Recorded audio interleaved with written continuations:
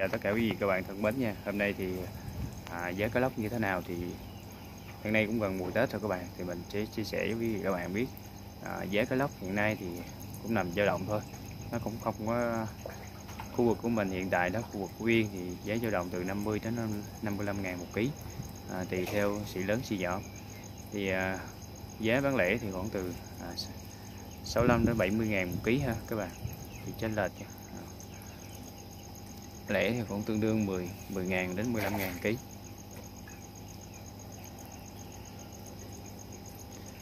ừ, thì hiện nay tôi đang đứng tại hồ à, hồ cá với à, được 3 tháng 3 tháng tuổi các bạn từ khi bắt ngày bắt về. À, lúc về thì bác khoảng tương đương là khoảng à, bằng cái chiếc đũa. Thì bây giờ là mình sẽ quay cho các bạn xem nhé. Thì à, đây bên trong đây các bạn đây là cái bể cá lóc mình đang nuôi. Thì, à, thì mình sẽ quay cho các bạn xem nha. Cái lóc như thế nào. Thì đây các bạn. Đây là bể cái lóc à, được 3 tháng tuổi. Thì à, cái lóc cũng lớn rồi các bạn. Từ khi bắt về thì cũng được bằng cái chiếc đũa đầu chiếc đũa các bạn. Thì bây giờ thì nó à, lớn bằng cái to hơn cái à, cái cán rửa rồi các bạn. Cán rửa to hơn rồi. Đây các bạn.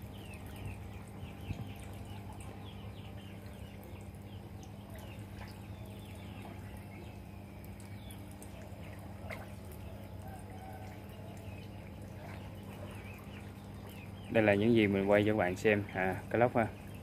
Thì cá lóc vào buổi giờ lúc đi thì à, hiện nay thì bây giờ đang đứng lúc đây là 3 giờ. Đang 3 giờ chiều. Cái thì ánh nắng nó chối chiếu vô à. Chiếu vào nè các bạn. Ừ.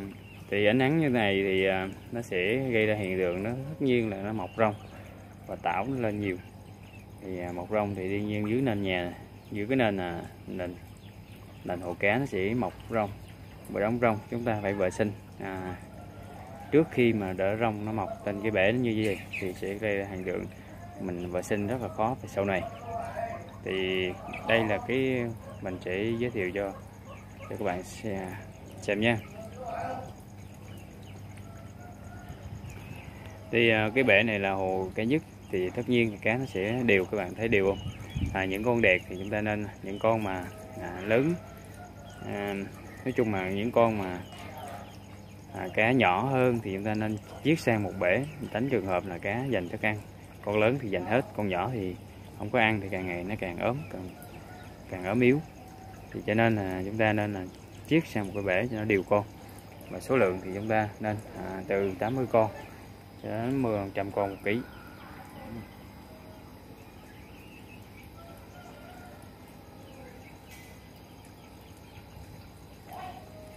Và cách ờ, xây xây bể thì hôm nay tôi sẽ à, mình cũng giới thiệu cho quý các bạn biết luôn cái bể này các bạn. Thì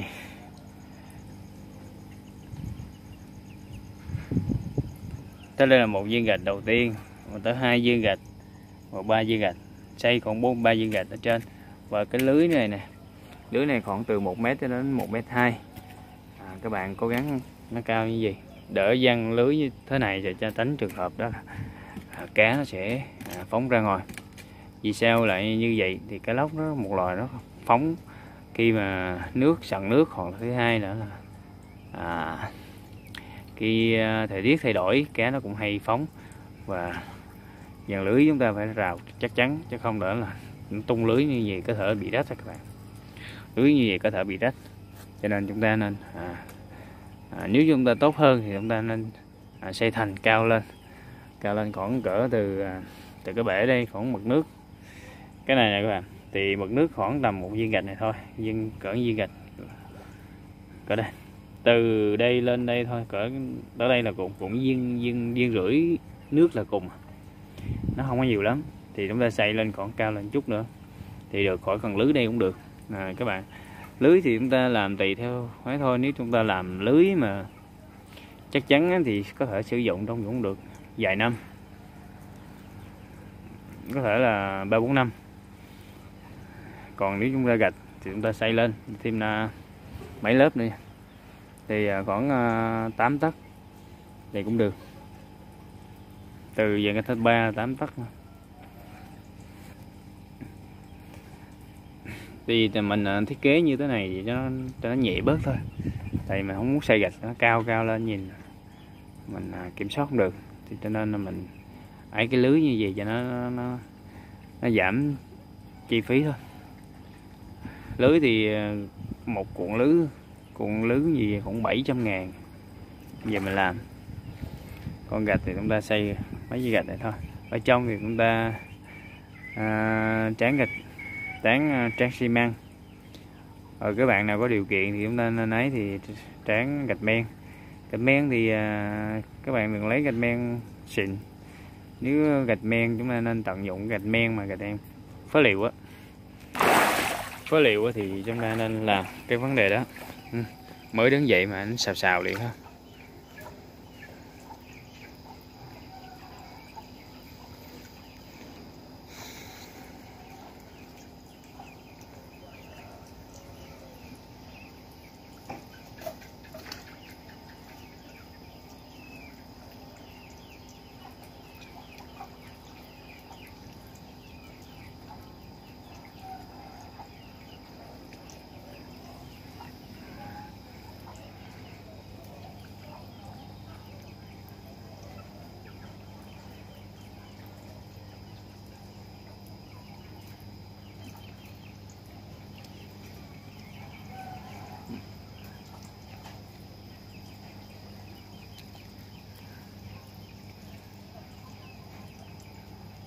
Đa số thì ờ, nuôi cá thì ờ, có nhiều loại để nuôi cá ha. nuôi cá ao đất ao đất và bể xi măng ao lót bạc.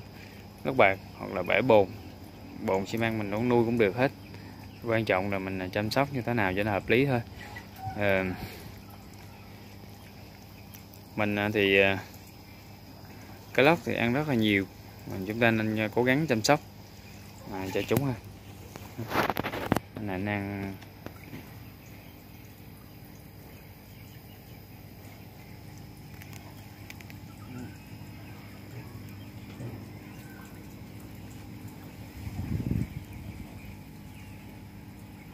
lớn rồi. Cái này tầm cũng ba lạng. Hai hai lạng hai lạng hơn chứ.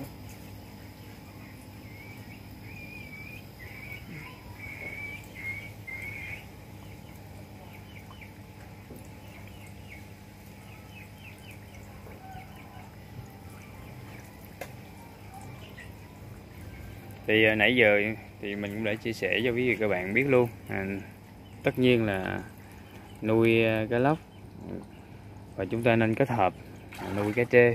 Cá trê thì nó cũng dễ thôi các bạn. Các bạn cố gắng nuôi cá trê thêm để tăng thêm cái nguồn thu nhập cho mình.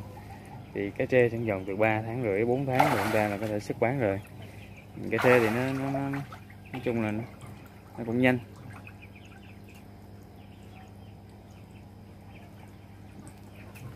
Thì cái lốc thì cũng phải từ 5 đến 6 tháng. Thì cái đó là gì? Đấy rồi thì mình quay cho các bạn xem nhé cá sẽ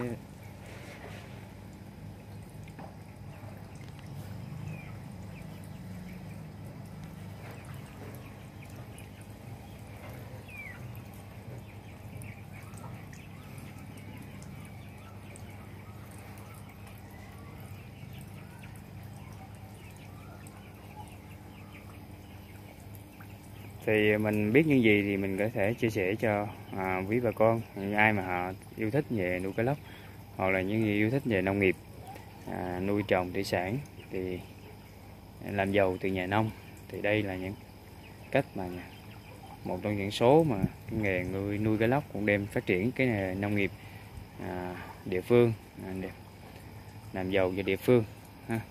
thì trong những mô hình này thì còn những cái mô hình như nuôi cá trình cá trình này các bạn cá trê hoặc cá lương, mô hình nuôi ớt nuôi thỏ, nói chung là nhiều cái mô hình khác. Thì à, mình à, hôm nay thì Dũng chủ yếu chia sẻ à, nhiều về con cá lóc này. Và nói về que con cá trình thì các bạn thì con cá trình nước ngọt các bạn. Cá trình biển thì đa số các bạn thấy cá trình biển không? Thì rất là bông qua rất là nhiều ngoài biển nhưng mà nó không bằng ngon ngon bằng cái con cá trình là trình sông nha các bạn. Cái trình sông thì à, cái trình gọi là cái trình nước ngọt hết sẽ tốt hơn ăn nó ngon hơn. À, thị trường thì à, ở Việt Nam tiêu thụ cũng rất là cái cái này thì thì con cá trình nó nuôi rất là lâu các bạn nuôi từ 2 đến 3 năm. Nếu mà nuôi nhanh thì khoảng 2 năm nếu chúng ta nuôi chậm thì cũng phải 3 năm. 3 năm thì chúng ta mới sức thì trung bình con thì cũng 2 đến 3 kg nếu con vượt đàn thì 6 7 kg rồi là bình thường thời gian nuôi. Thì đấy là mình giới thiệu sơ qua về cái mô hình khác. Thì à, không phải nuôi con cá lóc này không? Thì mình sẽ dẫn qua cái bể hồ nuôi cái trình nha.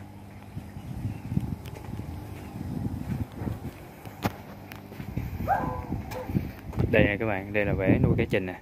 Thì cái bể này thì mình làm bằng cái bể cái bể này diện tích gần 30 mét vuông. Ở trên là gắn bằng cái ống oxy chạy nè. Thì ở dưới nền bằng nền đất sét mình sẽ đập đá cho nước trong rút. Cái hồ này thì mình à, đang tu sửa lại để cho phơi nắng luôn. Ừ.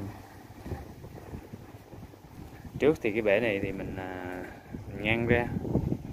Nhưng mà giờ mình nuôi thương phẩm để nuôi ương cái trình con á. Cho nên bây giờ là ngăn ra cho nên là cho nên là nó nó như thế này. Ừ và vậy thôi thì mình cũng ờ, xin phép video ờ, video lại đây. À, chúc các bạn nhiều may mắn và thành công hơn. Nếu các bạn nào thấy hay hãy ủng hộ nhấn nút đăng ký bên dưới nha. À, cảm ơn các vị các bạn rất là nhiều.